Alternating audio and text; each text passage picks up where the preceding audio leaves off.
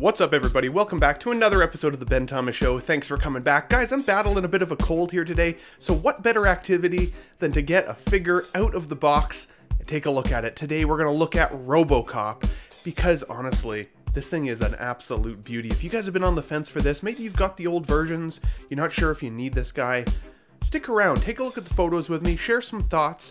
If you guys like the video, hit the like button, smash the subscribe if you're new to the Ben Thomas Show, and let's get into it.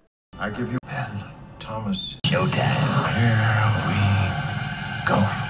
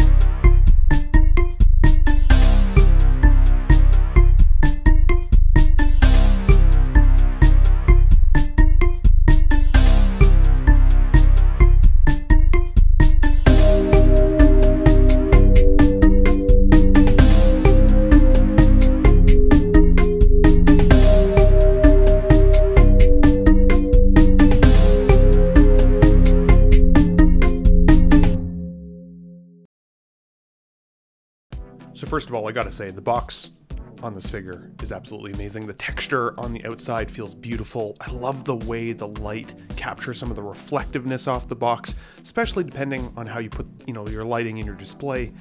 I think the figure also shines incredibly well.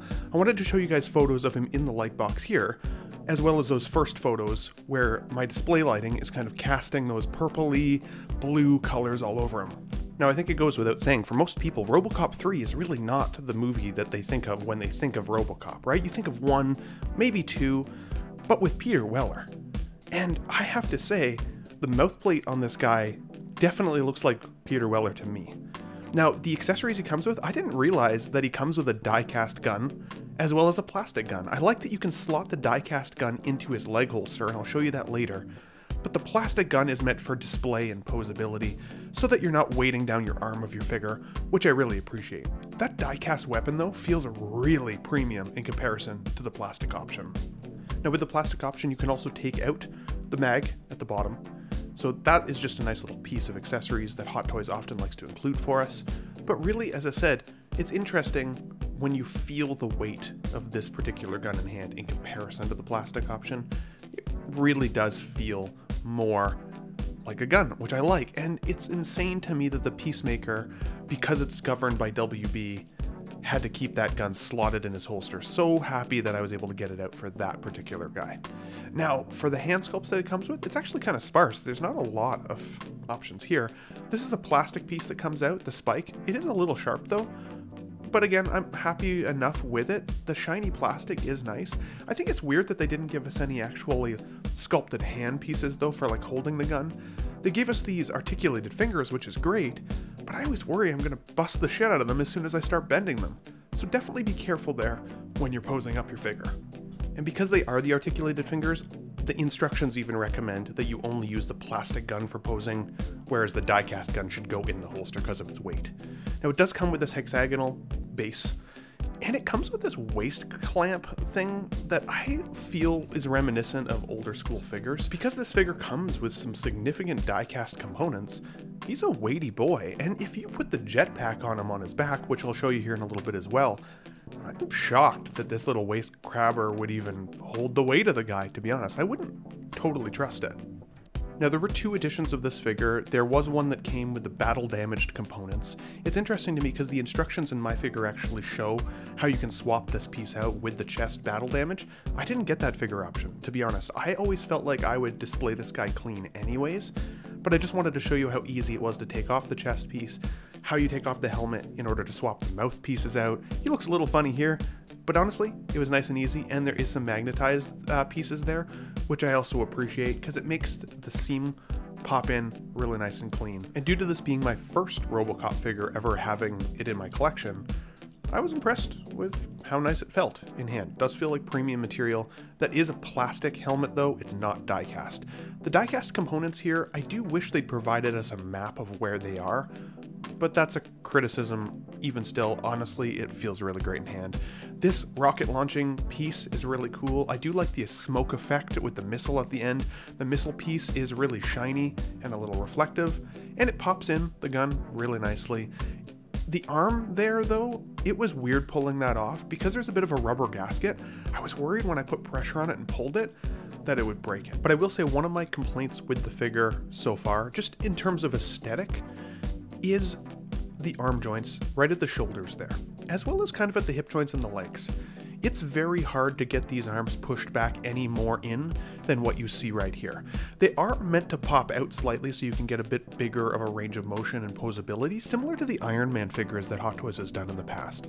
But the Iron Mans I find do a better job of having it look a little more seamless at the shoulders, whereas again you can see those plastic joints there, that's it. That's as far in as they go. You can turn it slightly or twist it slightly to hide it, but to be honest, that is a little bit ugly to me. I have a hard time not looking at those when I'm posing the figure up, and it does make it look a little bit more like a toy as opposed to a 1 6 scale shrunk down version of Robocop. But one of my favorite parts of this figure is this section on the leg, where you can open it up and actually holster the die-cast gun. It's really cool. Now you do have to make sure that the leg is pulled away from the hip just ever so slightly, or else you can't actually close it all that well or open it very well. So definitely read the instructions so you make sure you don't accidentally pull that off. Now the jetpack is one of those accessories that I said when I got this figure, I'd probably never actually pose it with the figure. But looking at this piece, it's beautiful. The paint job is fantastic. I love the wiring.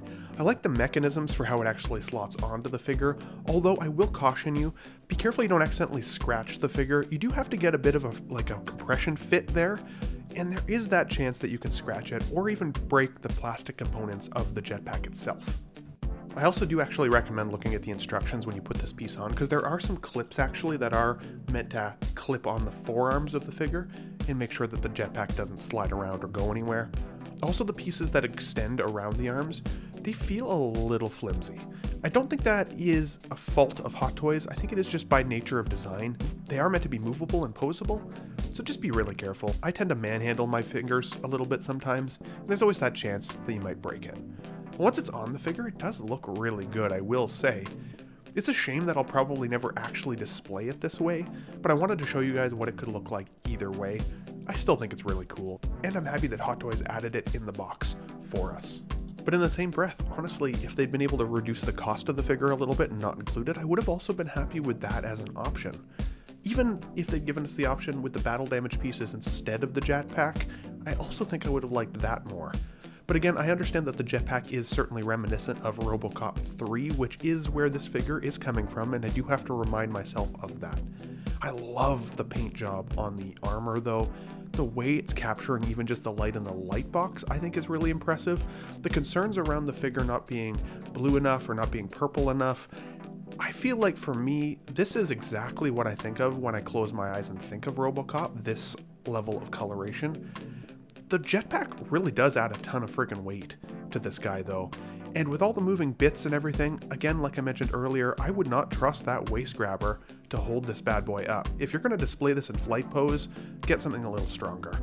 Now it does come with the different mouth plates. Again, this to me looks exactly like Peter Weller, not the other actor that was in Robocop 3, which is a bit of a shame for that guy. I feel bad for him a little bit, to be honest. A total of four mouth plates overall, though, I think is a pretty great offering with regards to this figure. This teeth one looks pretty good, especially with the exposed teeth there. I know that gets a little silly with other figures sometimes. Ant-Man kind of comes to mind. This little kind of weird pouty one I think is my least favorite. It's got a bit of a rabbit look to it. Don't love that. And the middle one there I do think is okay. But to be honest, the figure mouth plate that I like the most is actually the one that comes stock on the body right out of the box.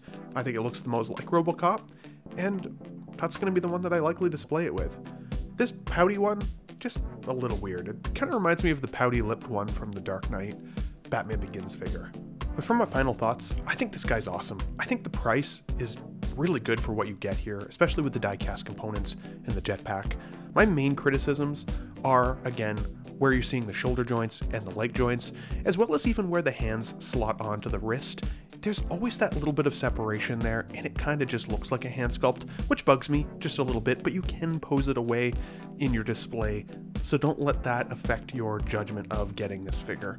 At the end of the day, I'd give this figure still a 9.5 out of 10. I absolutely love it, but I'd love to hear what you guys think in the comments down below. Are you picking this figure up? Why or why not? Maybe you already have those original Robocops and you don't feel like you need that. Have any of these videos or seeing these figures in hand for other collectors changed your mind? Or at this point, are you going to be able to skip it? I'd love to hear from you guys down in the comments below. Sorry I'm losing my voice a little on the video today, guys, but I hope you enjoyed it just the same. If you guys liked the video, hit the like button for me. Smash the subscribe if you're new to the Ben Thomas Show, and I'll catch you guys on the next figure preview video. Thanks for watching, everybody. I'll be back.